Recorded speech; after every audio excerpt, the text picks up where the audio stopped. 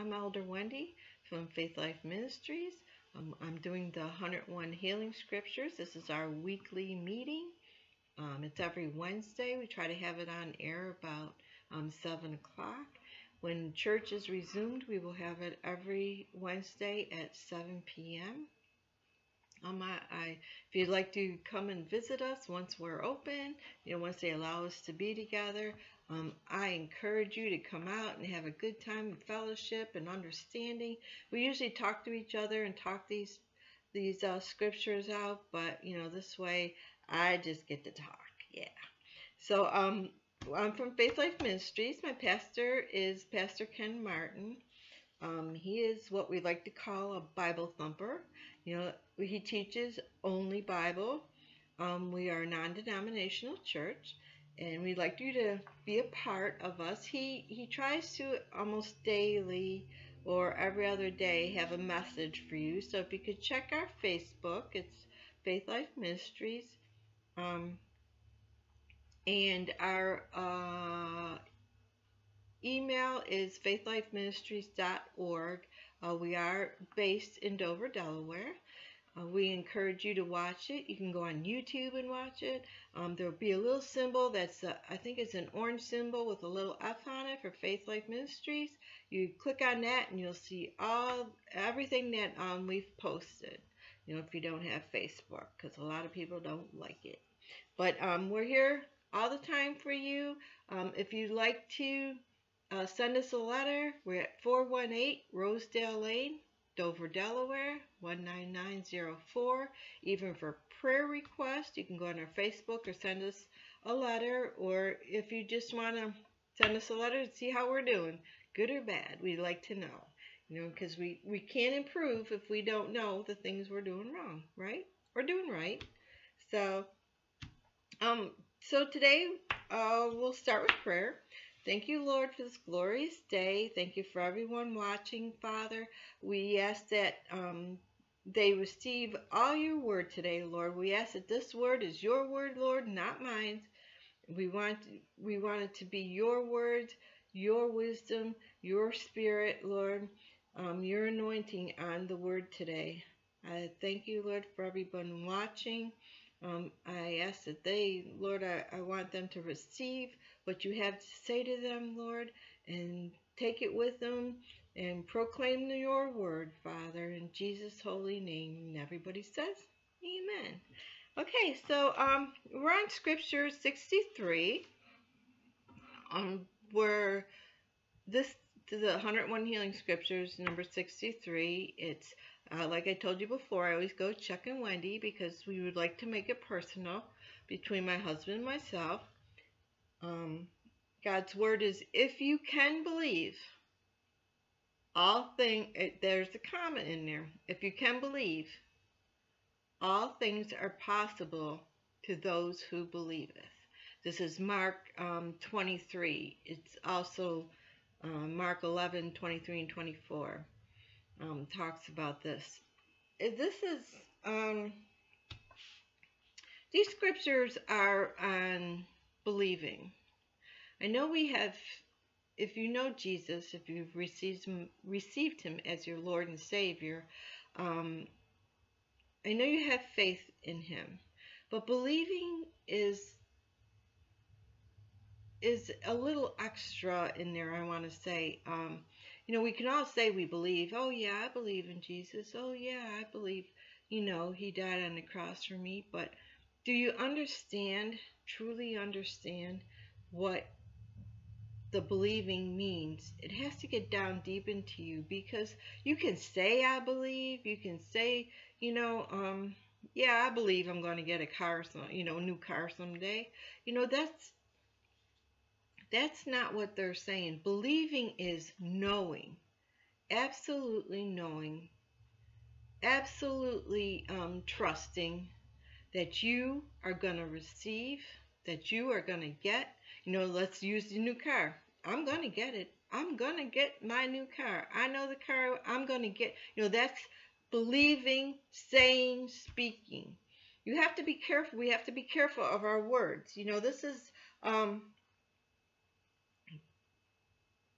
in Christ, we have to understand that once we receive Jesus Christ as our Lord and Savior, we've come into God's kingdom, you know, and His way of doing things.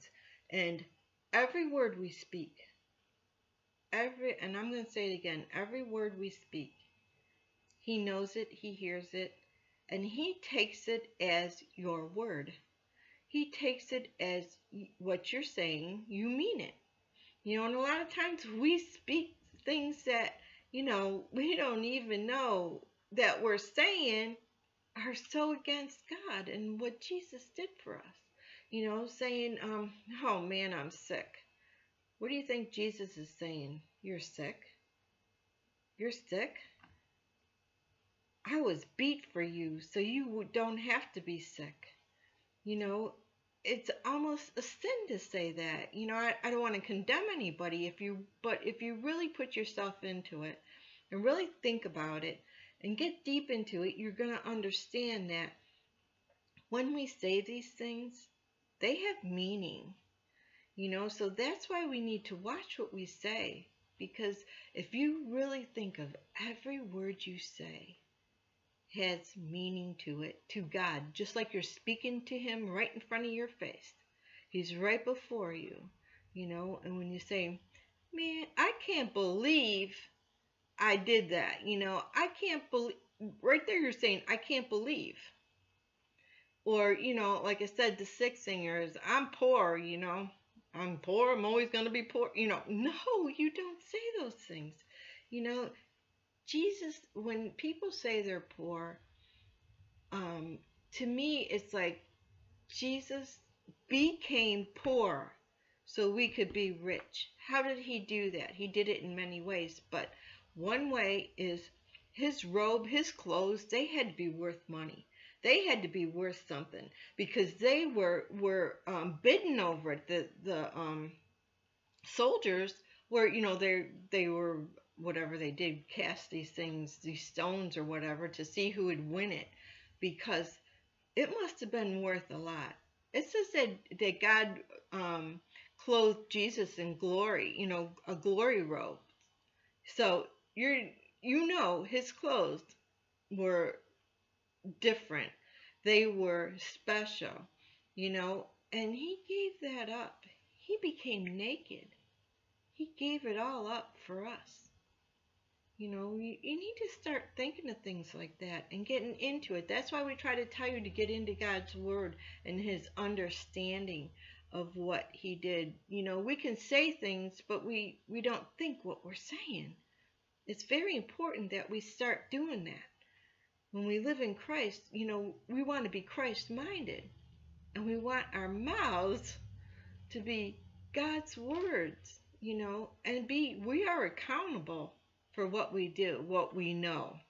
I can see before when we didn't know these things, but now that we know it, we're accountable for it. You know, and I just want to I'm trying, you know, nobody's perfect. You know, we all know none of us are perfect, but you know what? We can we need to try to increase ourselves and better ourselves and better our words and better our lives you know, that's what we we do in Christ. You know, when he's when we're trying to be Christ-like, that means we're trying to be, you know, a better person. You know, try to walk like he walked. Love everybody. You know, that's what we're we're trying to do. Okay, I don't know how I got off on that, but so all right, I'm going to read the scripture. This is about um, where the scripture falls in is uh, a boy is healed. Now, this boy, well, we'll talk about afterwards. I'll read the scripture. Um, I want you to weekly, before I end, end the serve or the message, I'll tell you what we're going to do the next week. Um, what where what scripture we're in. So even if you don't have these 101 scriptures, you can go to that and just read the the chapter. Um, you know, that one is what I usually do is I try to take um, what it's about. I don't always take the whole chapter, but read the whole chapter and then you'll understand where that scripture is and what God's trying to tell you. And then when we get together, then you'll understand more. So you know, I try to do my work, you know, and I do try to do the work for you, but you need to do some of your own too. Because just hearing people sometimes we have to do it ourselves to really understand and God will work with you. Oh my goodness. Before I read my Bible, I ask the Holy Spirit to help me to understand what I'm reading, get it down into me and my soul, you know, so I have good understanding of what God is trying to tell me. You know, I can read the same scripture two, three times and get a different meaning out of it, you know, and at that time, when I read it, that's usually what I need, you know, so, you know, even though there's three different ways to take it, at, at that time, that's what I need and that's what God's given me and that's what I have to learn by. So if you involve him in reading your Bible, it helps so much, you know, it he brings that understanding to you because that's what he's there for. That's what the Holy Spirit's there for, to give us wisdom and understanding.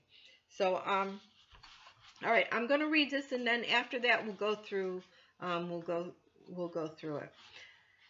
A boy healed.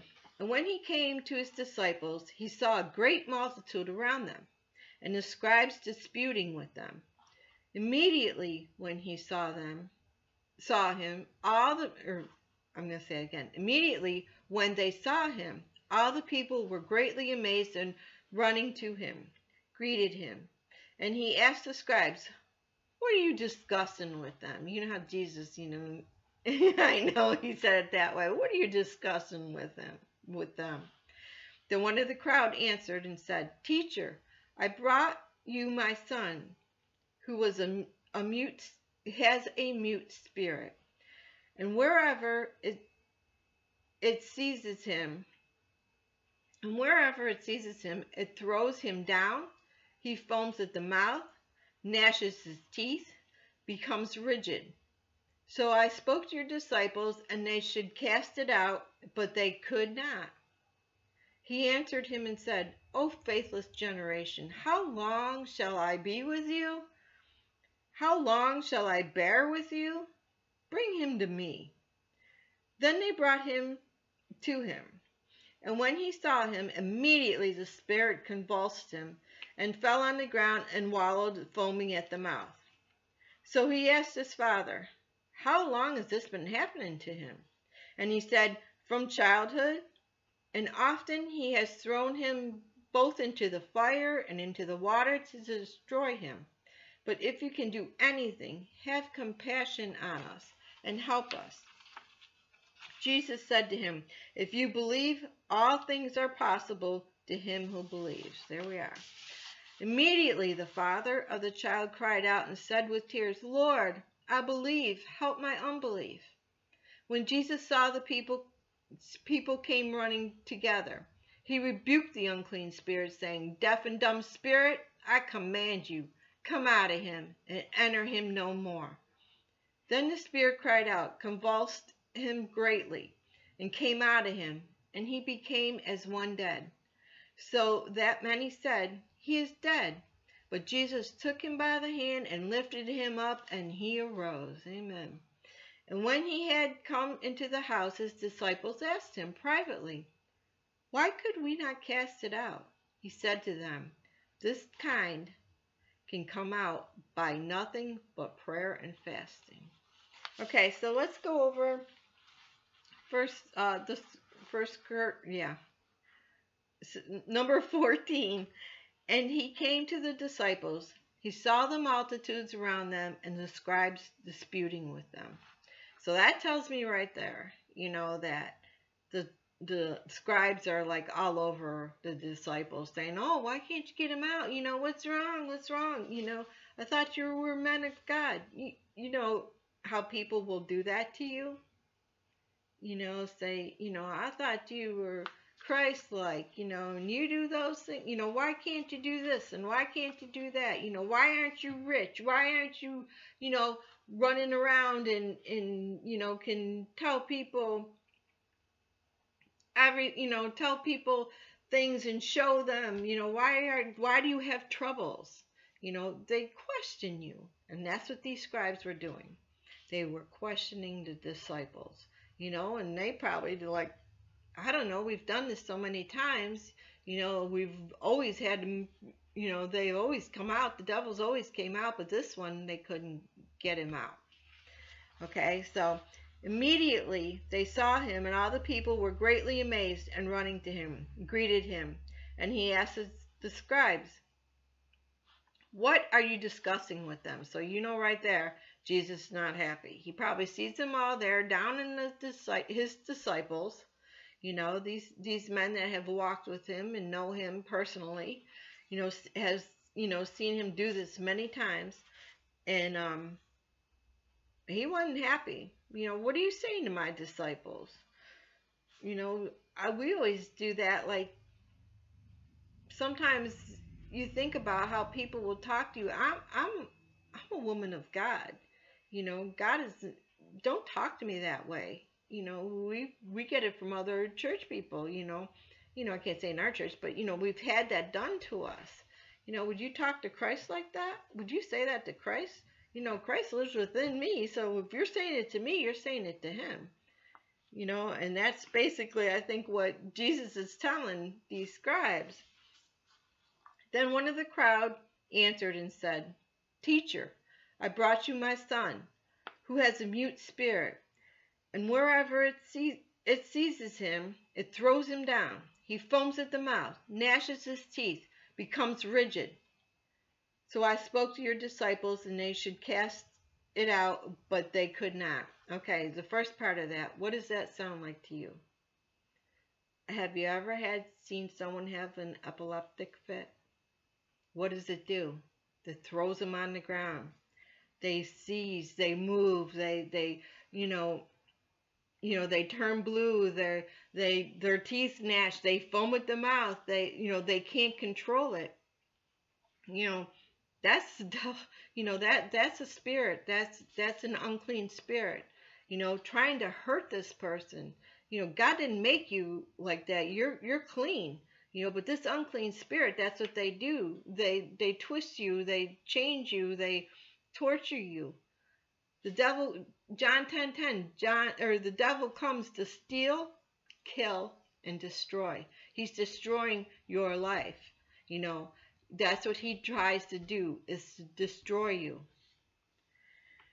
Okay, let's get back to this. Um, he answered him and said, O faithless, faithless generation. I don't think, I've read this before. Um, how long shall I be with you? You know, how long shall I bear with you? Bring him to me. You know, when I've read this before, I thought he was saying it to the disciples, you know, like, what's wrong with you? You've done this so many times. You've seen me do it. You know the words to say. You know what to do. You know, I thought he was saying this to, to the disciples. But the Lord showed me today he was saying it to the people. He was saying it to the scribes. He was saying it to the unbelievers. You know, they've seen him, you know, a faithless generation. You know, that's what they were faithless, a lot of them. You know, and for them to, that's why he, he said that to them, you know, to the scribes and all them. Faithless generation, you know, how long shall I be with you? You know, he knew he was leaving. They didn't know. But, you know, that's, that's what, um, I, I really, I'm glad the Lord showed me that that wasn't what it was because, you know, I'm a disciple. You know, I've, I've worked, you know, in that part of, of uh, the ministry and, and I can't always, I have to tell you, you know, there's been some that you, that been hard to get out of people. And, you know, and thankfully I have my pastor or someone with me that you know helps me or I'll just give it to them. You know, maybe they're discerning something that I'm not. See, um, unbelief will stop. People standing around you not believing you know joking about it or you know saying you know what's up? You know why? Oh yeah there's no devils in there. You know what are they doing? You know that unbelief hurts that part of it, you know, of getting those unclean spirits out. So, you know, I think that's what Jesus is saying, you know, oh, faithfulness, faithfulness, you know. And then 20 is, then they brought him to him, and he saw him immediately. The spirit convulsed him, and he fell on the ground and wallowed, foaming at the mouth. Right there tells you that devil knew. He knew he was coming out. He knew that he had no choice. He knew who he was up against, you know, and he just did, he, he just twisted that boy, you know, he thought, I'm going to get all I'm going to get out of him, you know, I don't want to leave. This is my home, you know, that's his tomb. That's, that, that unclean spirit, that's where he lived. He didn't want to go. He was going to fight not to go, but he knew, he really knew he had to. So he was going to torture this kid it shows you right there. You'll see where he tried to kill him. You know, if I can't have him, nobody else can. You know that part of it. Um, I I would was um, seen a man one time that went through deliverance, and I'll tell you, it was um, it was the worst one I ever seen. This man was so that devil. He didn't want to come out and I'm telling you, this man twisted ways you wouldn't even think could be twisted. His arms twisted in the back, in his back, you know, behind his back, right around, you know, his legs, his torso. He just fell on the ground and he was just twisted. It was like no person, you know, only special certain people could do the things that he did. You know, the the twisting and the his neck got real big, you know, and this is real, people. You know, this is real. A lot of people don't believe in that, but I'm telling you, I've seen it with my own eyes. It is real, you know, and this boy, I have seen people worse than this boy, you know, but an unclean spirit is unclean spirit, and they don't want to come out. Man, it's it's tough, you know. They know this child, you know. They they know what they can get away with. Let's say it that way. So he asked his father, Jesus asked his father, How long has this been happening to him? And he said, From childhood. And often he has thrown him both into the fire and into the water to destroy him. But if you can do anything, I'm going to say that again. But if you can do anything, have compassion on us and help us. I know Jesus said in his mind, if, if, if, you know, that that's almost insulting. You know, this is, you know, he's a Messiah. You, you, you know, people have seen what he could do. That word, if, is, it's, it's really a condemning word. It's a really distrust, distrustful word you're saying that, you know, if you can, you know, that's almost like, no, you can't, or you got to prove to me, or, you know, if is so, when you talk to someone, or let's just say, you know, and, and I've seen this and I've done it myself, you know, I've, I've like I don't know, my, you know, sickness or whatever come on me, you know, or I've been prayed for and, and I think, you know, Lord, if you could only, if you could only, you know, um, if you could only heal me, you know, this finger, if you could only heal it, Lord, what am I saying? You know, if I, if you could only, I know you can, you know, you've proven it to me You've healed other parts of my body. You've healed so many things. I've seen it before my eyes. And I would say to you, if you can heal my finger, you know, we don't, this is where it comes back to the words. We have to recognize what we're saying. We have to recognize and be careful of the things we say. Um, like I said, you know, most of the time you don't even realize you're saying it. Well, when you really consider how important your words are, you will use your words in a different way. You know, and this is because a lot of times when we say, you know, it's mistrusting. We're not trusting.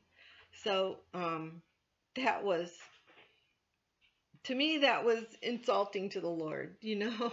If, and then he comes right back at him and he says, Well, if you can believe, all things are possible to him who believes. You know, and and that's what everything is about is, you know, the whole walk is believing and having faith what Jesus did. He's not before, so we can't see it with our eyes.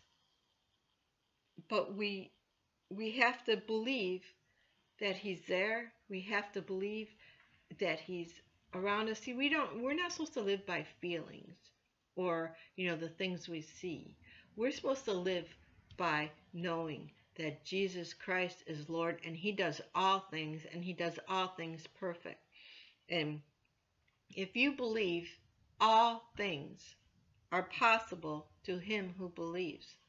And that's what we have to get down inside of us. You know, we have to truly see us, you know, you'll hear different pastors and saying or people will be saying that, you know, you have to see yourself um like let's see. What can I say? Just doing something. You know, okay, we used that car before. Okay, I see myself with that Mercedes. I see myself sitting in that Mercedes. You know, I'm just not saying, you know, a thing, you know, God can give it to you, but I mean that's that's just a thing, but you have to see yourself walking. I see myself my words are better. You know, I see myself increasing in the Lord. I see my, you know, I see myself. I'll tell you, uh, years ago, I had, um, I would say it was a vision of um, my husband and I, you know, and Pastor, um, standing on a um, stage with thousands and thousands of people with all their hands raised. I've seen it. You know, I've seen it in that vision, and I I I live on that because I'm gonna see it someday. I know I am. I'm I know, but I know I see myself there. I know I'm gonna do it. I know I'm gonna see it. I know it's gonna be just such a revelation to me when I when I it's just gonna be beautiful because these people are coming to the Lord. All these hands raised, you know, and and that is where I see myself. I see myself going um, to different churches and speaking, you know, these things. And even though there, it's not for me right now, I know that it will be someday. You know, a lot of people will want it right now, right now. You know, Lord, why don't I have it? Why isn't? No, you know, we believe. I believe, and I trust in the Lord that it is going to come at the right time in my life you know, when I am prepared and, you know, that's where the trust is. You trust in Him. You trust in Him. You believe in Him that He is going to give it to you at the right time in your life. And I don't mean just things, you know, these cars and houses and no, those are things. I mean, the the things in my I don't want to say the word things, but my soul those ways that I know is from God. You know, He blesses us with things, He gives us things, but He also gives us grace, you know, and that's where, um, you know, I. I see myself in God's grace. I want him to say that he is well pleased with me, and that's what I work towards you know and just knowing him and understanding that's why we try i try to get across to you. Try to get in your bible. Understand him. Understand what he did for you. Understand how much he loves you. Understand how he wants you to live your life without lying without trying to manipulate without trying to um, do the wrong things because you know what? They never work out. If god is involved it will succeed if he's not, you know, if it's sin, you know, when you're lying, it's sin. You know, that's why you have to um, change your ways. That's when we become a new person. We're not that old person anymore. So, um, okay, let's get back to this. Immediately, the father of the child cried out and said with tears, I, Lord, believe. Help my unbelief. That is that scripture right there that is so meaningful. And truly I I believe that we should say that prayer all the time to the Lord. You know, show me my unbelief. You may not like it. And you may say, wow, I didn't even see that, you know, before. But He will reveal it to you. He will reveal where you have that unbelief. He will show you where that is in your life. You know, in your words, in your thinking. You know, even when you say, I can't believe I did that, you know, that's wrong. You shouldn't be saying that. Or, I don't care.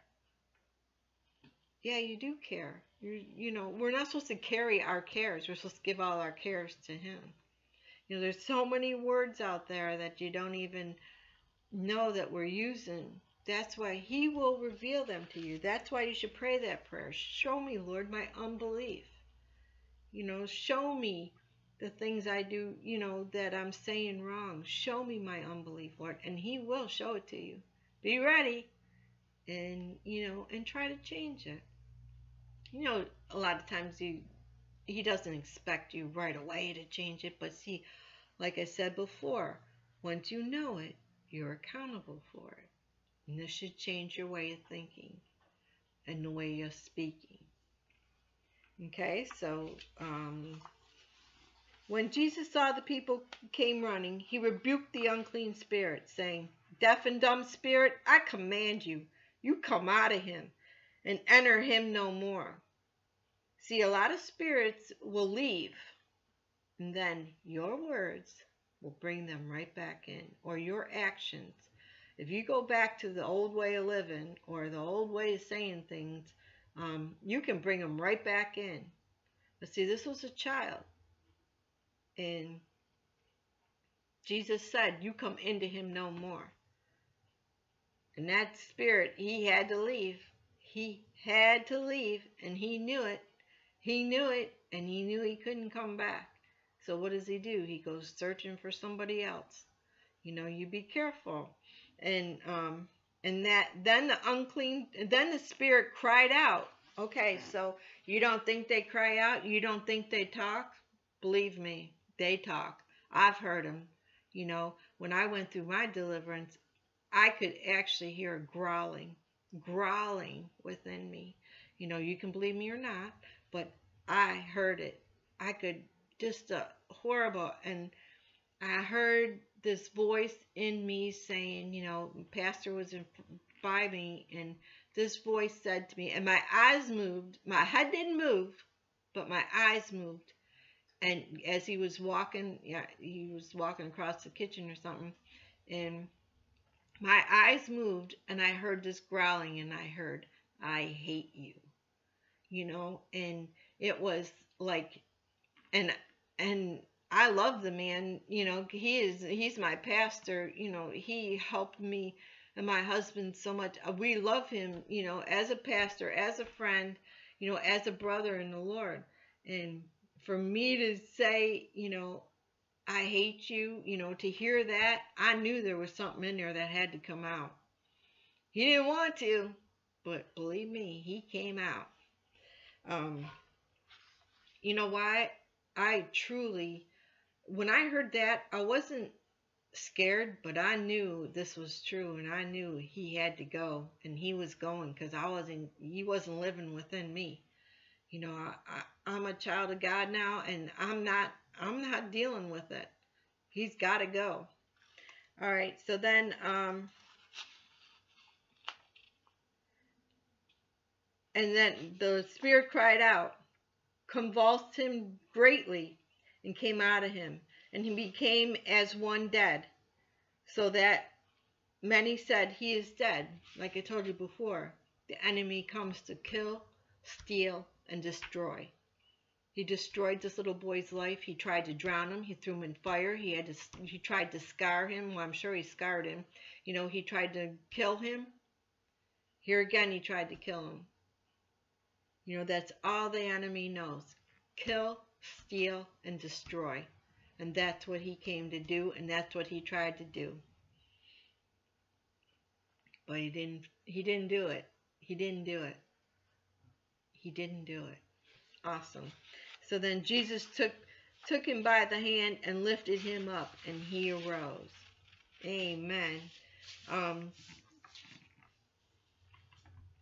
everybody had to be cheering and saying, "Oh my goodness, look at him!" You know, um, the boy had to be such a release.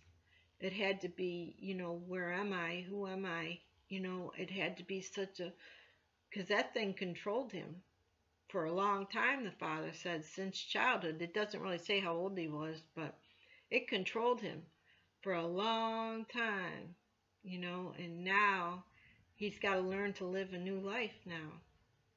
And it had to be such a release, and the father had to be, you know, imagine him having to watch over him all the time. And when he came, he had come into the house, his disciples asked him privately, why could we not cast it out? And he said to them, This kind, see that's that's the key words, this kind can come out by nothing but prayer and fasting. There's different there's different levels of demons and devils. You know, there's different levels there. And this one he was he was a tough one. But you know what? Jesus got him out. The name of Jesus we use that name of Jesus, they got to flee. We have that power and authority. And once you know that, and once you practice it, and once you, you um, live it, they got to go. They have no choice. You know, so this, this was a lot about um, trusting in the Lord, believing in Him, understanding our beliefs in Him. And if, and like I said, the prayer, use that prayer. You know, Lord, show me my unbelief. Because if we're trying to strive to be, you know, perfect in the Lord, you know, I can't say anybody's perfect, but we're trying. If you strive to be perfect, you know, no one no one is perfect, but if you strive to that, you're increasing. You're getting closer and closer all the time. You know, so start doing that. Ask him, Lord, show me my unbelief. And like I said, he will. Okay, so I hope you were blessed today by this and um, hope you understood what I said. And if you have any questions, you know, go on Facebook. We'll answer your questions. Um, I I love to do this weekly. This is a blessing to me. It increases me, and I hope it increases you. Um, so you have a blessed week, and stay strong, and know that you know Trust in the Lord. He's going to get you through this. You know, believe in Him, and all things are possible. All things. I mean, He, all things. so seek that and seek the understanding of that scripture too from the Lord. He will He will show it to you in the way that you need to see it. So um, I hope you have a blessed week and we will see you next Wednesday around 7 p.m. May the Lord bless you and keep you. May the Lord's face shine upon you and be gracious to you. May the Lord's countenance be all over you today and give you peace and health and wealth and prosperity and wisdom and knowledge of His will. Lord, I thank you today for all the people listening and watching, watching, Father. Bless them, you know, bless them with your peace and your understanding, Lord in Jesus' holy name. And everybody says, Amen. Have a blessed day.